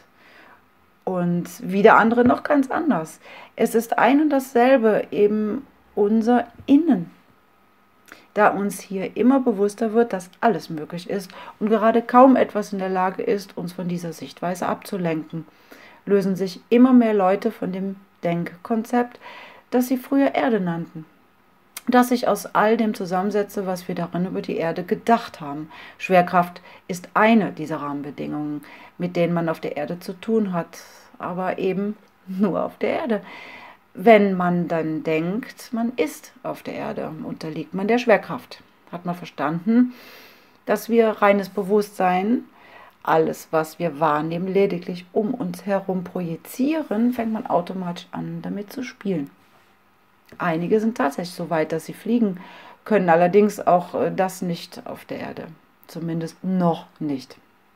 Eigentlich müsstest du es auch können. Hast du es in der nicht schon einmal probiert? Nein, eigentlich nicht, sage ich verwundert. Wenn ich ehrlich bin, bin ich doch nicht einmal auf den Gedanken gekommen. Mach's doch einfach mal, sagt jetzt die hübsche Frau neben Robert Stein, die sich mir eben als Anna-Maria August vorstellte. Auch ihr Gesicht kenne ich aus Videos, sehr sympathisch. Du brauchst es nur zu fühlen, so wie du gehst oder läufst oder dich hinsetzt. Dein Körper braucht dafür keine verbalen Befehle oder irgendwelche Zauberkräfte. Konzentrier dich einfach auf das Gefühl zu fliegen. Schau, es ist ganz einfach. Leicht wie eine Feder erhebt sie sich vom Boden, ohne eine weitere Bewegung zu machen. Wenn es dir hilft, kannst du dir vorstellen, dass du Flügel hast, mit denen du fliegst. Du kannst dir aber auch einfach vorstellen, du kannst fliegen wie Superman. Und damit schießt ihr schlanker, nackter Körper nach oben, ich sehe noch, dass sie sich streckt und dann nur noch einen kleinen Punkt, eine weite Schleife fliegt, wieder hoch über unsere Köpfe zurückkommt, senkrecht wieder herunter und in der nächsten Sekunde landet sie mit einer Poser-Heldenlandung auf einem Knie wieder vor mir und schaut mir direkt in die Augen. So! Ich muss erstmal fast hysterisch lachen. Mein Verstand weigert sich, das zu glauben, was er gerade gesehen hat. Aber nicht für lange. Er fängt sich und schaltet um auf Interesse. Fühl es tief in dir, sagt Anna. Ich schließe die Augen und konzentriere mich. Äh, ich stelle mir Flügel auf dem Rücken vor, so scheint es mir leichter zu fallen. Ich recke meinen Rücken, fühle, wie die Flügel beginnen zu schlagen und merke plötzlich, wie der Druck unter meinem Popo leichter wird. Ich öffne die Augen und sehe, wie ich mich vom Boden abhebe. Vor Schreck falle ich erstmal wieder runter. Aber es hat funktioniert, nur ein paar Zentimeter, aber ich bin geflogen. Starte mal im Stehen, schlägt Anna vor. Ich stehe auf und gehe ein paar Schritte in Richtung Meer. Da packt mich das Gefühl der schlagenden Flügel wieder und reißt mich regelrecht mit. Dann fliege ich. Langsam, immer höher. Ich höre die grün gestirnten applaudierten und auf einmal fühle ich mich sicher, als hätte ich nie etwas anderes gemacht. Es ist absolut leicht. Ich muss nicht überlegen, wie ich mich so steuern soll. Mein Körper folgt neben einfach dem Gefühl. So wie wenn ich rechts oder links gehe, nur dass ich ihn jetzt nach rechts, links, vorne, hinten, oben und unten bewegen kann. Ich fliege frei umher, doch ich merke, dass es mich anstrengt. Auch das Fliegen braucht seine Energie und meine jungen Flügel brauchen wohl noch ein wenig Training. Langsam äh, lasse ich mich wieder nach unten sinken in den Kreis der Gruppe und langte sanft auf dem sandigen Boden. Jetzt klatschen alle und ein paar andere gucken verwundert zu uns rüber. Die haben es nicht gesehen, sagt Gore. Sie sind auf der Erde. Sie hätten es nicht einmal wahrnehmen können, wenn du es direkt vor ihre Nase getan hättest. Für sie ist so etwas noch äh, total unmöglich. Noch. Für deinen Verstand war es das eben auch noch, aber dein Verstand hat sich schon aus den Denkmustern der Erde gelöst. An den Punkt kommen sie auch noch. Sie brauchen noch ein paar mehr Zugänge zum Hyperraum nach Nanny. Das ist alles zu krass. Das muss ich Nathan erzählen, wie der gucken wird. Ich erzähle noch allen von Wunsch an diese Idee mit dem Lagerfeuer heute Abend und dass alle eingeladen sind. Dann gehe ich noch zu den Grüngestörten, erzählte das Gleiche, äh, während ich mich wieder anziehe und rufe: Gruppenumarmung! Alle springen auf und wir liegen uns bestimmt fünf Minuten in den Armen, bis irgendwer sagt: Langsam wird's eklig, ich schwitze wie ein Pferd. Woraufhin sich alle lachend wieder voneinander lösen. Ich gehe ein paar Schritte Richtung Parkplatz zurück und dann erhebe ich mich in die Luft und fliege zum Turm. Langsam nähere ich mich und sehe Nathan und ein paar andere gerade Pause machen. Sie sitzen lachend in einer Runde in der Sonne. Unbemerkt kann ich mich ihnen nicht nähern, also rufe ich ihn einfach von hier aus. Nathan! Er blickte in die Richtung, aus der der Ruf kam, aber nicht hoch genug. Er erwartet mich nicht in der Luft. Er sucht die Gegend am Boden nach mir ab. Ich nähere mich und auf einmal sieht er mich. Sein Gesicht versteinert wird kalkweiß.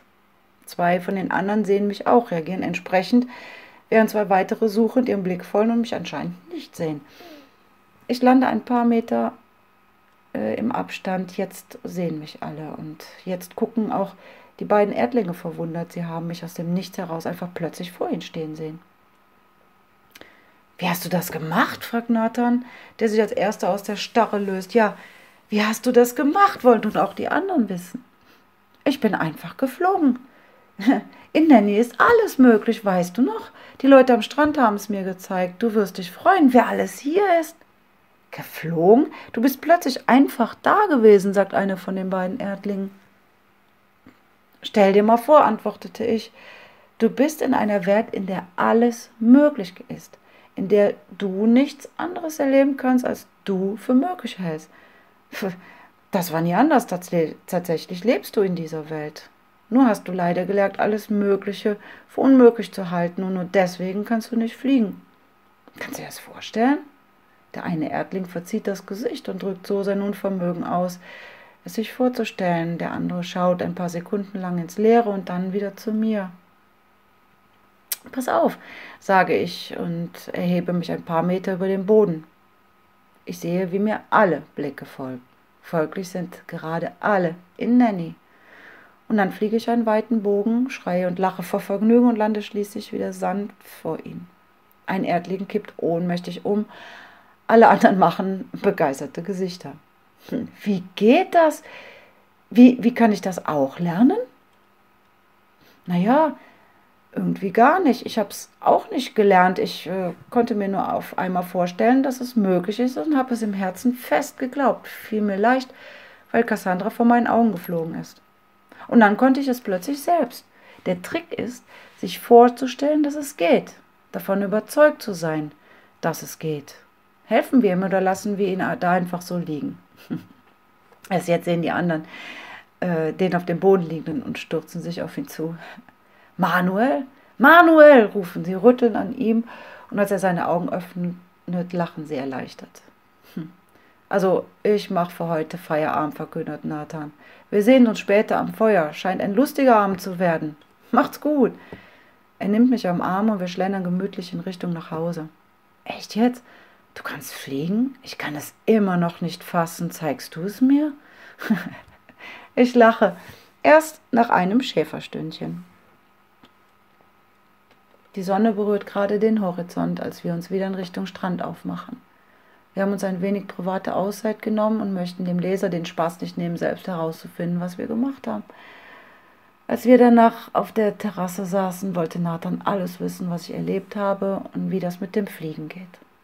Natürlich habe ich es ihm gezeigt und natürlich hat er den Bogen schnell raus.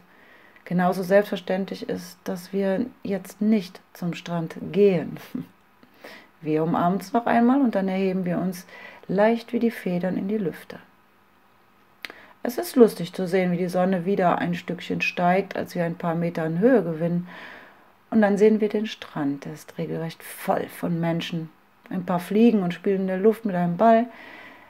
Die Bucht vor dem Strand ist gefüllt mit Booten und da liegt ein riesiges schwarzes Schiff mit zerfetzten Segeln vor Anker. Fragend schauen Nathan und ich uns an. Dann fliegen wir hin und inspizieren es aus der Nähe. Ein altes Piratenschiff und Nathan meint, wenn ich es nicht besser wüsste, würde ich sagen, das ist die Black Pearl. Wir fliegen an den Strand und gesellen uns zu den Freunden. Ein paar Feuer brennen, nicht zu groß. Feuer ist um diese Zeit auf Mallorca aus gutem Grund verboten. Zu schnell ist in den letzten Jahren immer wieder ein Teil der Insel abgebrannt. Doch Könige lassen sich nichts verbieten und machen das, was sie tun, so, dass es keinen Schaden anrichtet. Ich schaue mich um. So viele Leute sind hier. In der Nähe sehe ich Meli stehen, die uns zuwinkt. Bei ihr stehen auch Corinne Cassay und Nadine Beiler. Wir begrüßen uns alle herzlich und Nathan Corinne extra lang. Von überhell allher hört man Menschen reden, lachen und singen. Die Stimmung ist wie bei einem Finale von irgendwas. Und dann denke ich, ich sehe nicht richtig. Zwei Armlängen neben mir steht Harry Potter in voller Quidditch-Montur mit fliegendem Besen und einem Zauberstab, den er gerade äh, schwingt, etwas dabei sagt, das ich nicht verstehe, und plötzlich verwandelt sich der ganze Strand in eine Art Stadion oder Amphitheater. Offen zum Meer hin.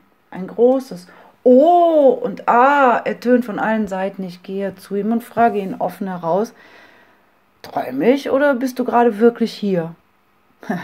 naja, antwortet er lächelnd. Du bist hier in Nanny, also äh, beides. Aber wie kommt es, dass du hier sein kannst? Muss Daniel Radcliffe dafür nicht auch hier sein? Wer ist das? Na, der Schauspieler, der dich in den Harry Potter Filmen spielt. Äh, es gibt Harry Potter Filme? Auf der Erde ja. Äh, naja, also äh, das mag sein. Viel wichtiger ist aber zu verstehen, dass du hier dich siehst, in egal wem um dich herum. Du stehst hier vor dem großen Spiegel. Du solltest einfach deiner Wahrnehmung trauen. Klar soweit, fragt mich jemand von rechts gleich hinter mir. Ich drehe mich um und mir fällt hier echt die Kinnlade auf den Boden. Jack Sparrow, er ist wirklich hier.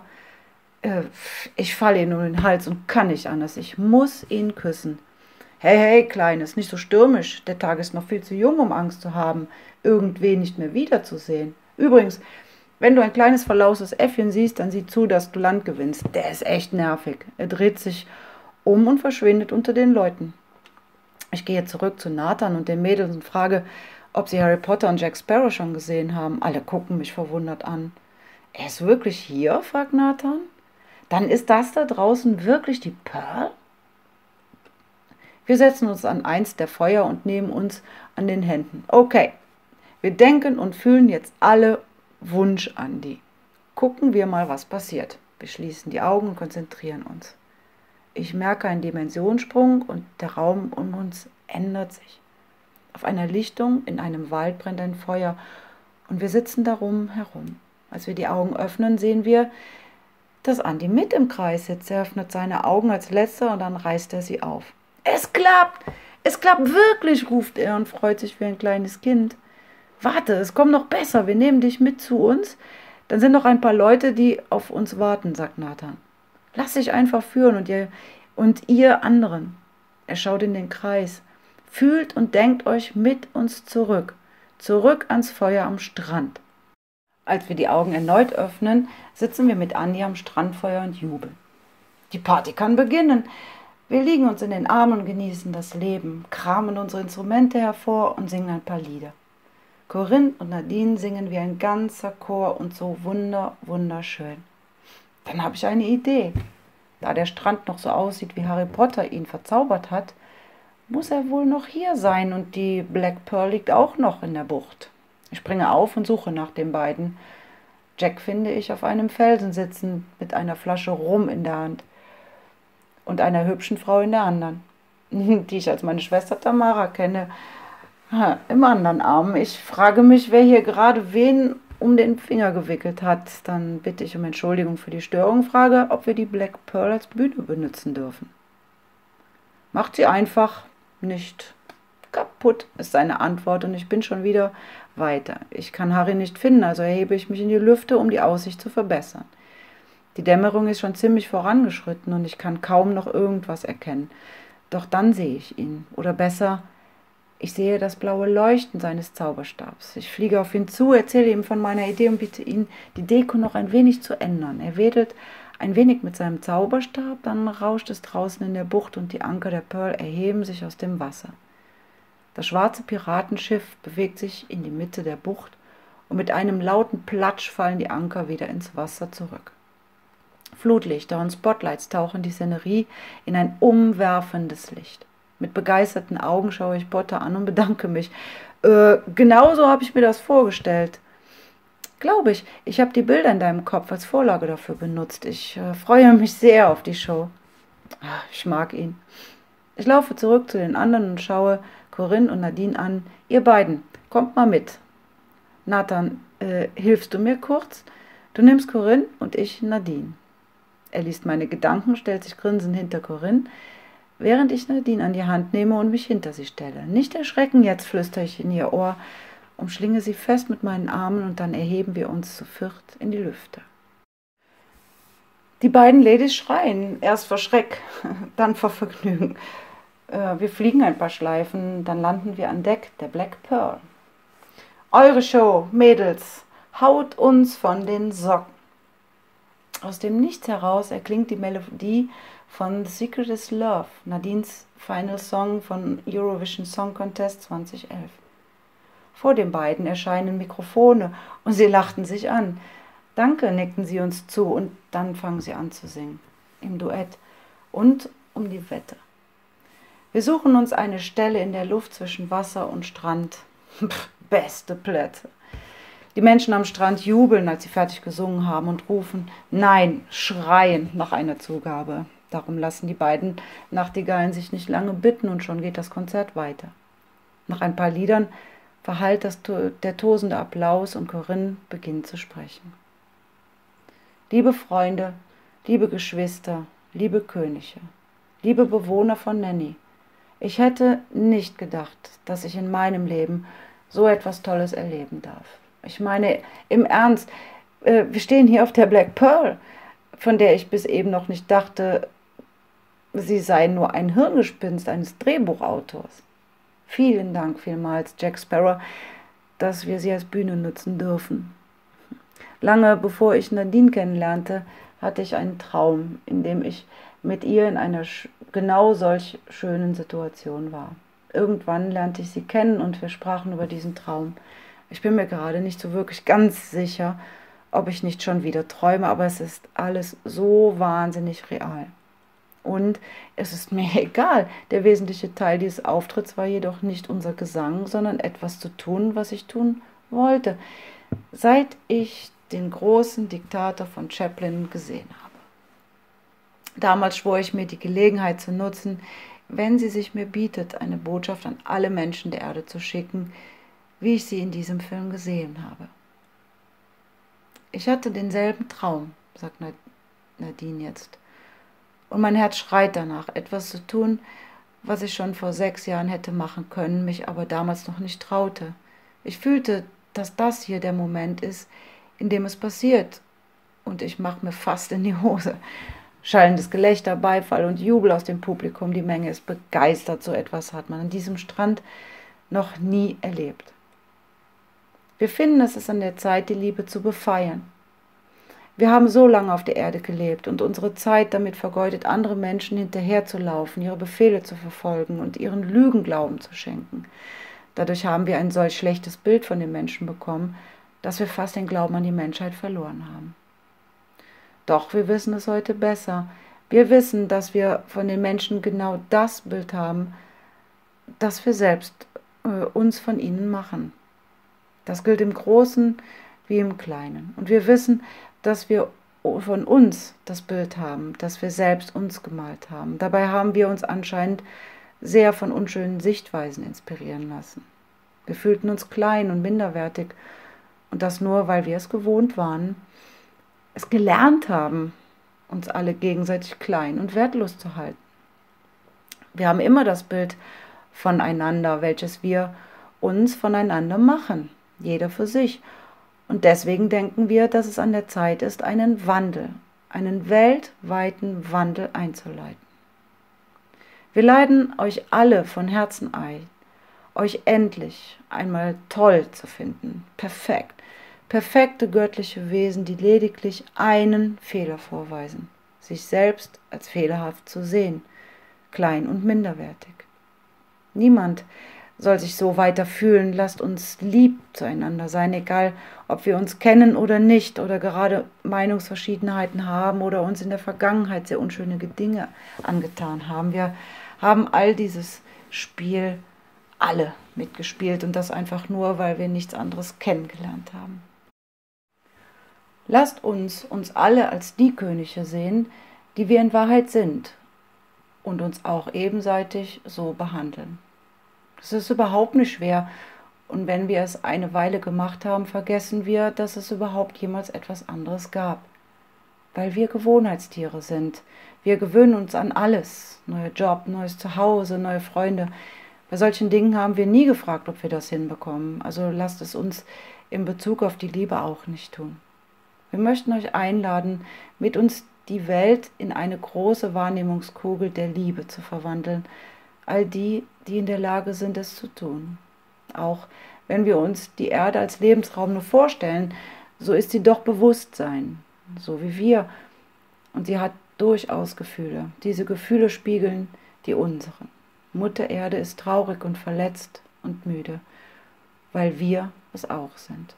Weil wir auch bis hier alles getan haben, um so zu sein. Aber niemand bloß, bloß bleiben, wie er ist. Niemand kann bleiben, wie er ist weil wir alle lernendes, also sich änderndes Bewusstsein sind. Und so ist Mama Erde. Helft uns, die Erde wieder von einem Schlachtfeld, das wir zerstören, und uns damit gleich mit wieder in einen Garten Eden zu verwandeln. Beide Potenziale stecken in ihr. Doch es kommt darauf an, welches davon man füttert und zum Ausdruck bringt. Durch das eigene Verhalten streiten wir ist sie ein Schlachtfeld. Lieben wir, ist sie das reinste Paradies. Diesen Unterschied können keine Politiker oder Gurus hervorbringen, sondern nur wir. Wir alle zusammen. Jeder für sich.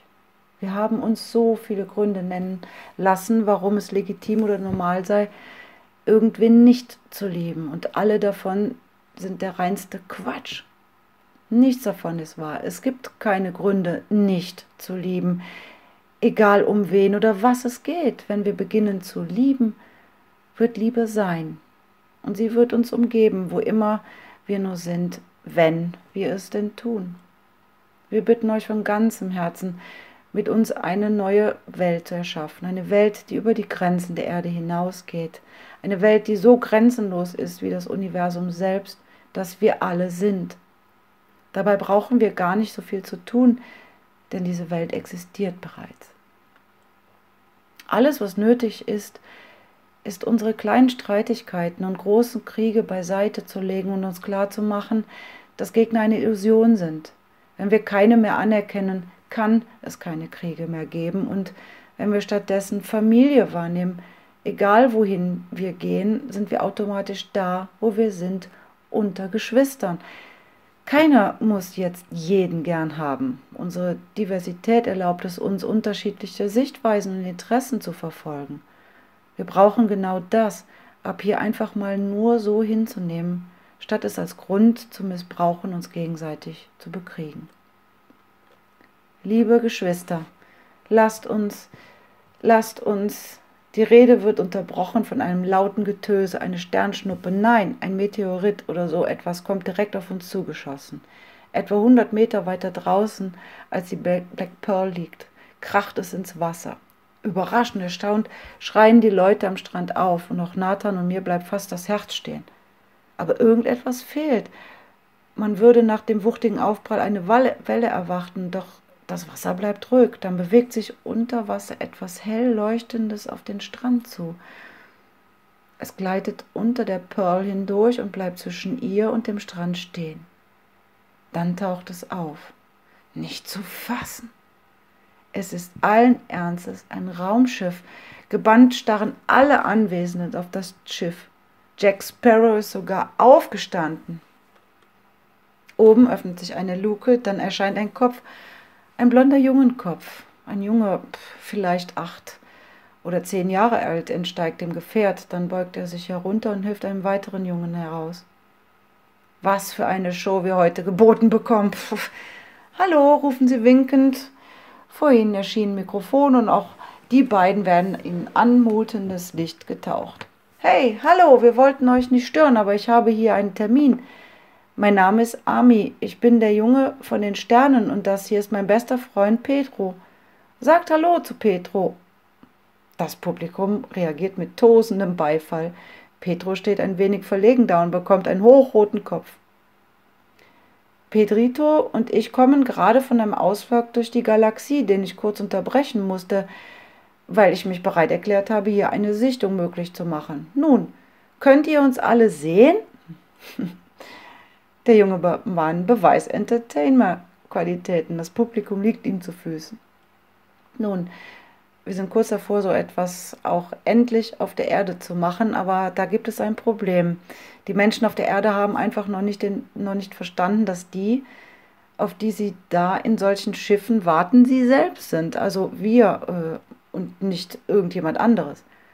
Hier in Nanny ist heute dieser Kontakt möglich, weil wir hier empfunden wird. Solange die Menschen auf der Erde in den Schiffen irgendetwas anderes erwarten, können wir uns ihnen nicht zeigen, weil sie uns einfach nicht sehen würden. Dabei laufen so viele von uns unter ihnen herum, die sie eben auch nicht erkennen, weil sie nun mal genauso aussehen wie wir. Doch würden wir aus diesen Schiffen steigen, könnten sie nicht glauben, dass wir zwar von anderen Planeten kommen, aber trotzdem einfach das gleiche sind wie sie. Viele glauben halt immer noch, das Leben sei auf der Erde entstanden. Pedro und er lachten herzlich. Einige andere lachten mit, dann immer mehr und dann lacht der ganze Strand laut und herzlich, gelöst, freudig, liebevoll und Nathan und ich mittendrin. Um es kurz zu machen. Viele von uns schliefen in dieser Nacht am Strand, etliche auf der Pearl, und Nathan und ich durften mit Ami und Petro eine Reise antreten, die wir nie vergessen werden. Aber von der erzähle ich euch ein anderes Mal. Warum? Weil hier alles möglich ist. Bis bald mal wieder. Samira.